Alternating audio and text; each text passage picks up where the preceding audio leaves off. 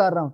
जिस तरह मैं ये हवाला एक आपके पास लेके आऊँ ना अबू बकर उमर के इस्लाम के अबू बकर उमर के इस्लाम पर अगर मैंने हवाले गलत दिए तो आपका फरीजा यह है कि उसी वक्त आप निशानदी करें कि हदीस बुखारी में नहीं। है मुस्लिम में नहीं है इसके माने कुछ और बोलता है ना। वो तो आप ज़रूरत तो नहीं है अब बात तो सुने अल्लाह साहब अल्लाह की तौफीक आज मैं इतने लोगों के सामने कह रहा हूँ आपने जितने हवाले पेश किए एक एक दो दो करके शेख साहब आप कब अबू बकर उमर पे के इस्लाम पर मेरे हवालों की आप तजीफ करेंगे?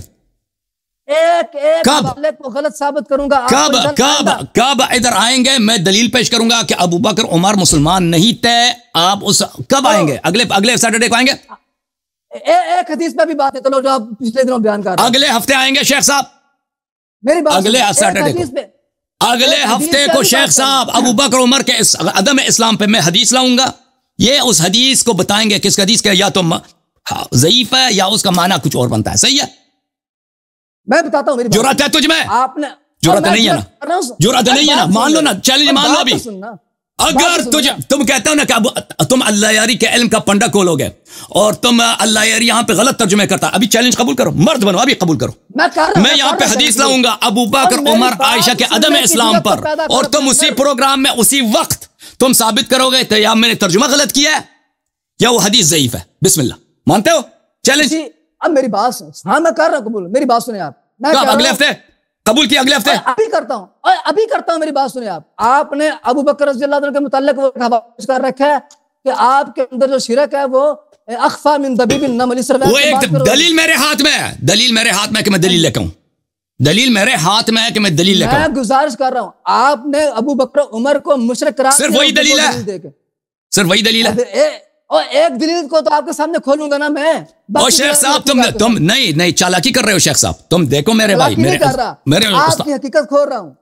नहीं अब उसके उसके मुतालिक भी बात करेंगे। उसके मुतालिक भी बात करेंगे ठीक है ना? पहले इस बात पे गुफ्तु करते हैं कि आप अगले हफ़्ते तैयार हैं पर अगले हफ़्ते आपसे गुफ्तु होगी? अगले हफ़्ते मैं दलील- आपके अबू बकर देखे इस तरह- मेरी बात सुनिए। देखो भाई आपको वो शिरक वाली हदीस मिल गई है वो वो कुछ मुहदसिन ने उसके एक रावी पे जरा की मैं उसके मतलब गुफ्तगू करूँगा। मुझे पता है उसका। मान लिया ना जरा की है मान नहीं मैं उसकी जरा को नहीं मानता ना वो जरा ही मजरू है। वो- बयान क्यों नहीं की? वो जरा मजरू है। हाँ वो आपका इल्म जरा मजरू सरे से बातिल है। इजाज़त दें मैं अभी वो गुफ्तगू बिल्कुल सही है ही नहीं है वो रवायत सही है ही नहीं है वो। इजाज़त दें इजाज़त दें मैं भी आपके अकाबर ने उसकी तसीक है आपकी तजीब से वो जयीफ नहीं बनता। बात यह है अगले हफ़्ते हमने कबूल किया नहीं किया। एक और एक और हवाला आपके सामने रखता हूँ जाओ।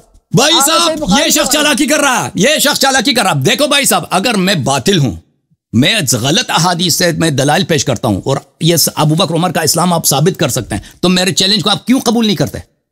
अगले हफ़्ते हम रहा गुफ्तगू करते हैं। मैं बताता हूँ आपको। आपने एक हवाला पेश किया अबू बकर रज़ी अल्लाह ओ भाई। साहब भाई साहब अभी हवाले के मुताबिक गुफ्तगू करेंगे ना। ओ भाई और मैं क्या अर्ज़ कर रहा हूँ? अगर मेरे पास एक मौजू पे दस हज़ार दलील है उसमें से एक दो दलील आपको पता चल गया कि बातिल है तो बकिया दस हज़ार का क्या करोगे?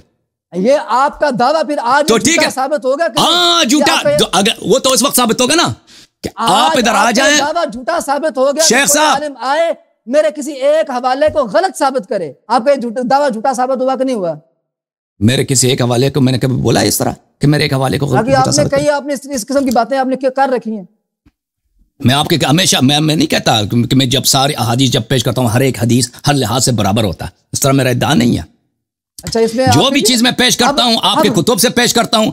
देखो अगर मैंने कहा है कि अलबानी ने उस हदीस के खामोश एक मिनट।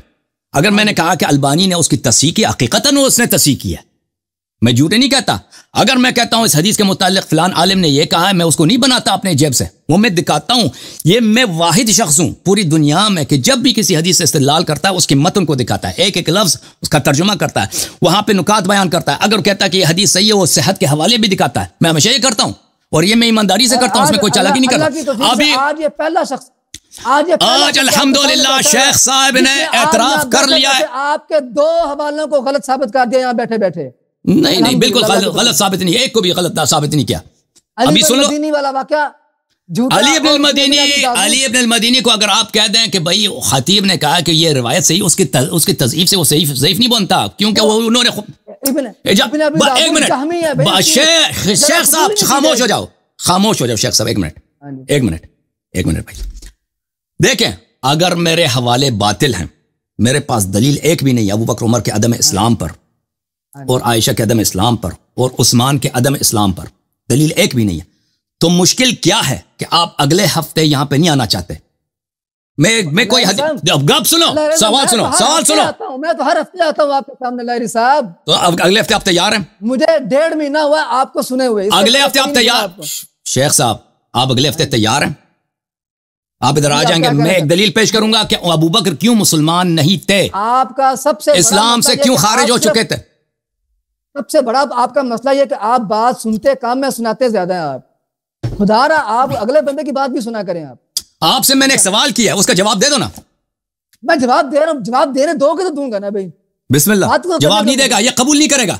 गारंटी है कबूल नहीं करेगा अगले हफ़्ते। गारंटी सौ फ़ीसद। और ये इस बात की दलील है कि मेरा इद्दा सही है क्या अबू बकर उमर के इस्लाम को ये साबित नहीं कर सकता ये शख्स। जवाब दे दो। अल्लाह। ताला की तौफीक से आपके एक एक हवाले का जवाब दूँगा मैं। एक एक हवाले का। ये लोग सुन रहे हैं। और जितने हवाले आज तक आप दे चुके हैं अबू बकर उमर के इस्लाम के हवाले से उनके अदम इस्लाम के हवाले से जितने हवाले आज तक आपने दे चुके हैं उन सब का रद्द आपके सामने पेश करूँगा इंशाल्लाह। ठीक है ना? और मैं आपको बताऊँगा कि आपने तहरीफ कुरान के वाले देखें इस तरह नहीं है।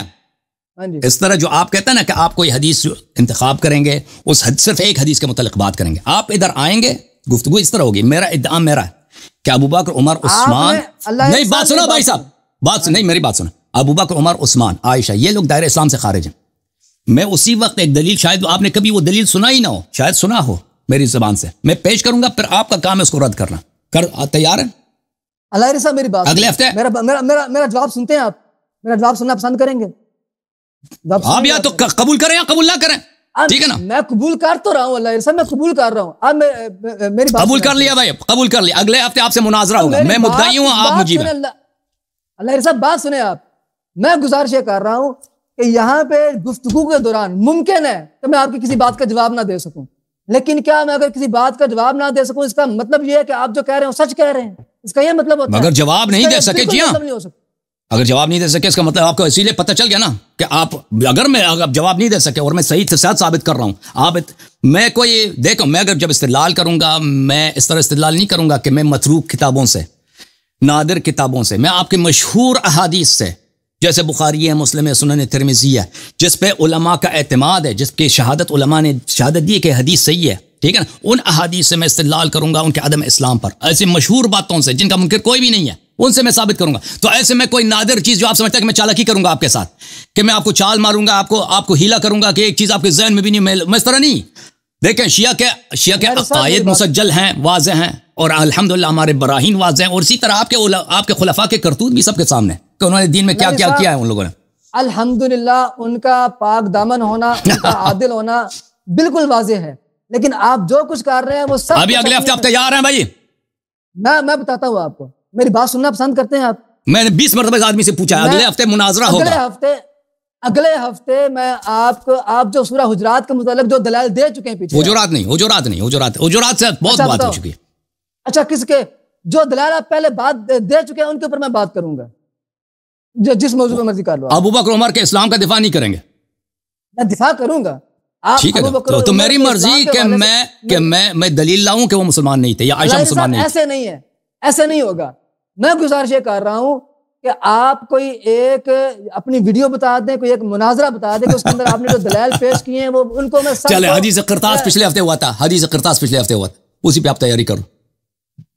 इसका बकर उमर के इस्लाम के हवाले से जो है ना उतना इसमें बात पता ही नहीं इसको। हाँ, अगले हफ़्ते हदीस करतास बिल्कुल हदीस करतास नेक्स्ट वीक नेक्स्ट वीक अगले हफ़्ते। आपने जो पिछले हफ़्ते आपने जो दलाल दिए हैं उन्हीं दलाल पे बात होगी।